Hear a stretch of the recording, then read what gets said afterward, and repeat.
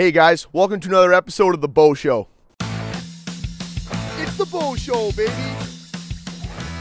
Today, I have a very special guest, captain of our Winnipeg Jets, my boy, Mr. Blake Wheeler. Wheels, thanks for coming on the show, buddy. Thanks for having me, guys. Shankly, Shankly and Wheeler.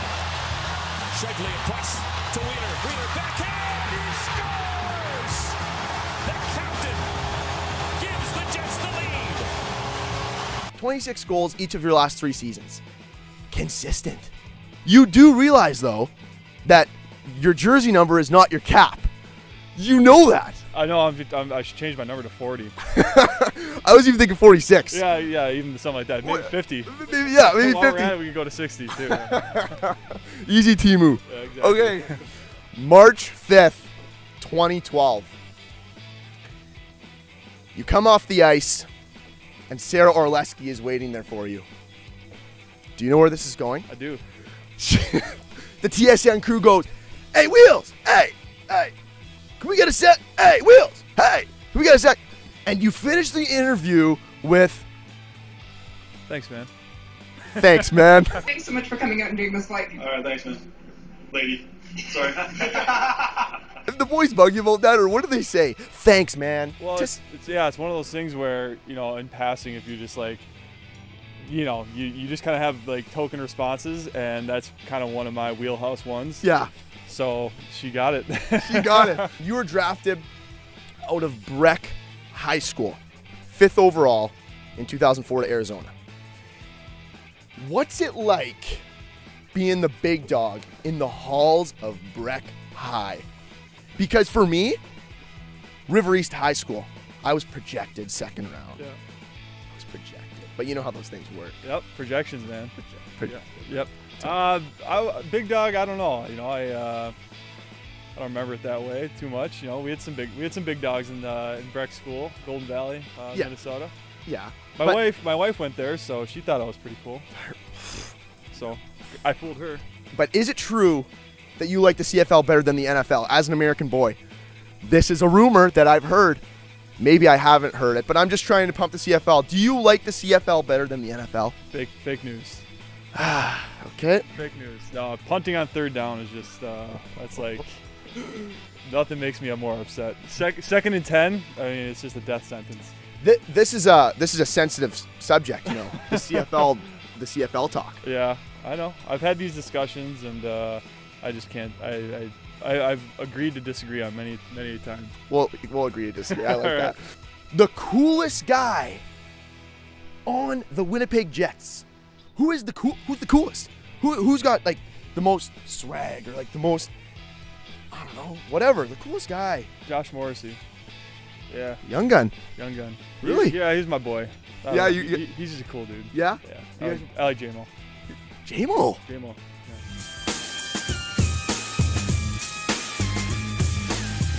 Who's the best cook on the team?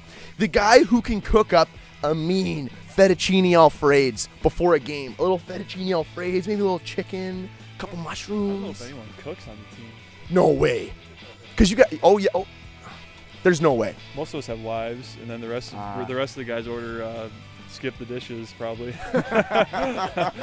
if we're being honest, so um, Yeah. I don't know if I've had anyone's cooking. Yeah. Sorry. Ah, that's fine. That's fine. We asked Buff Who, this. who, who could order skip the dishes the best? I've heard Adam Lowry's pretty good.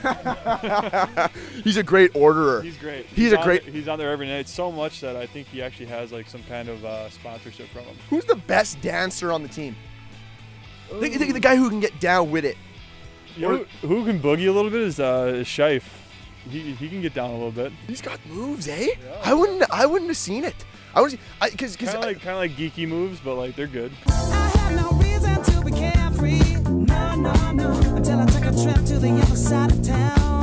Sometimes you can judge by a guy's goal celebrations. Okay. Your goal celebrations, you go into like hunchback mode, and it's like your thing like this, like sometimes, and like this, your stick back here, big goal, and it's like this, one foot stop. All right, boys, bring it. You know what I mean? Yeah. Because you're not a big Sally. You're not a big Sally guy. I used to be a big Selly guy. I got so I got in so much uh, grief at home from some of my celebrations from my wife that I just kind of I dialed her back a little bit. Yeah, I left some of my teammates in the wake a few times, and so I just, That's the worst. yeah. Looking I- back, I got- did it to Bryan Little this year one time too, and it was great. Litzy. Yeah. Not Litzy. Litz always kind of gets just just put to the side for some reason. And Buff made it, Buff made a nice pass, so I was trying to find him, and Litz came to celebrate first, and I kind of kind of sidestepped him. It was good. Oh,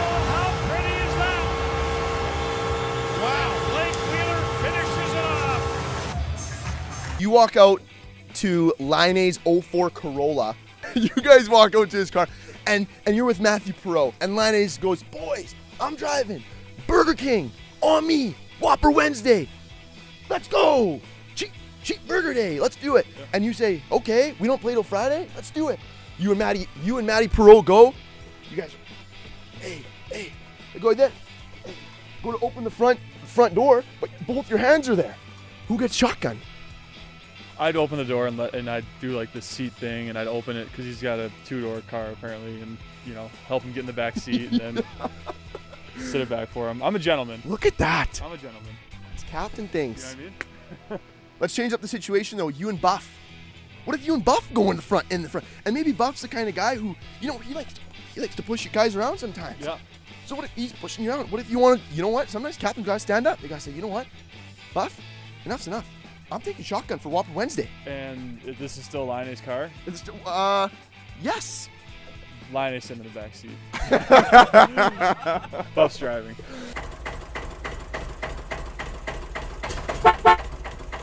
If you could go, if you were on an island Mm-hmm. and you had two things, what would it be? I forget what I told Buff, but I mean, for me, it'd be I'm a big guy. Yep. Like, you're, we got you stand, you got your raised up shoes today. Yep. So you're a little tall, like, you're a little tall. You got raised up shoes on. Yep. But I think it's sloping a little bit we're sloping here too. for sure. If, and I work out like you wouldn't believe. Right. But Especially this morning. except for this morning. Missed the morning. Well, and last week too. I missed a couple. Okay. But, listen, when if you're on an island, for me it'd be a Bowflex Okay. For one of my things, and maybe a bag of Boom Chicka Pop popcorn, Okay. a kernel a day. What, what what's it for you? Ooh. Uh, I'd start with it- it's got to be food related because I don't go along without eating. So um, I'd probably go with water, Okay. maybe sparkling water. I like sparkling water. Okay. Can it be cold? Oh heck, you can be whatever you want to be. Okay, cold sparkling water. Um, and then Chipotle burrito. Huh? Because that's a lot of like, it's kind of cheating because there's a lot of things in a Chipotle burrito. But like, From Chipotle? Uh, yeah, Wait, you didn't, you didn't. I mean, you asked me two things on an island: true.